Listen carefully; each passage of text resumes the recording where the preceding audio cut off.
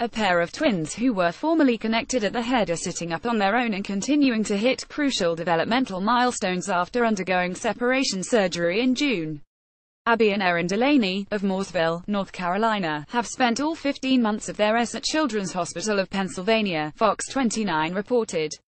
Erin was recently discharged, but Abby remains in recovery. Nearly five months after separation, we are happy to announce that both Erin and Abby Delaney are doing well as they continue to recover from this very complex surgery, Gregory Heuer, the girl's neurosurgeon who called the 30-member surgical team, said. Woman's missing IUD turns up in her bladder Heather and Riley Delaney were told that their daughters were craniopagus conjoined twins during a prenatal ultrasound.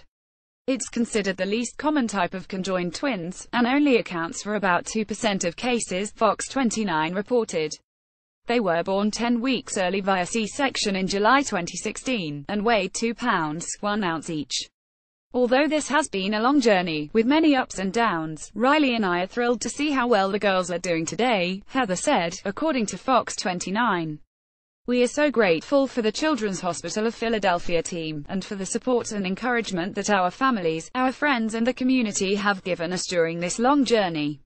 While the hospital has performed 24 separation surgeries, the girls were considered the earliest separation of craniopagus conjoined twins ever recorded, Dr. Jesse Taylor, a plastic and reconstructive surgeon said.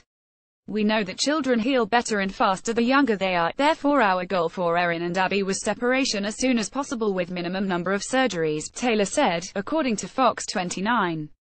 The twins will require additional surgeries in the future to address missing bone areas at the tops of their heads and to minimize scarring, but for now, they are working on crawling and practicing rolling over. The girls are inspiring, Heather said. As the parent, it is very neat for Riley and me to have a front row seat to this and watch them overcome these incredible obstacles. We cannot wait to see what their future holds.